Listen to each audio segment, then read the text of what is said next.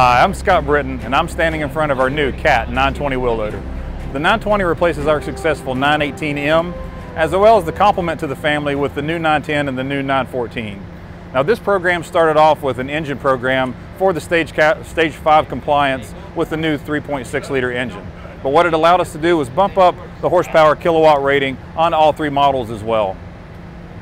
Now on top of that, you also note that this machine has an aggregate handler package on it. So our 914 and our 920 have that option. So what does that do for our customers? It allows for a right size kind of pass matching on those smaller aggregate plants, those smaller batch plants, smaller kind of job sites that are getting smaller and smaller, tighter and tighter, but you need more out of a capable machine in that space.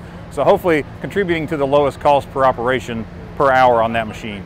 Some really nice features are various guards that are available for it, including bottom guards, hitch guards, as well as tail light and rear guards for it. Additional features such as reversing fan help on those high debris type applications to allow the, the radiator to purge and clean itself out. This machine we really feel is going to be very well placed with that smaller contractor looking to get the most out of their machine in that envelope of space.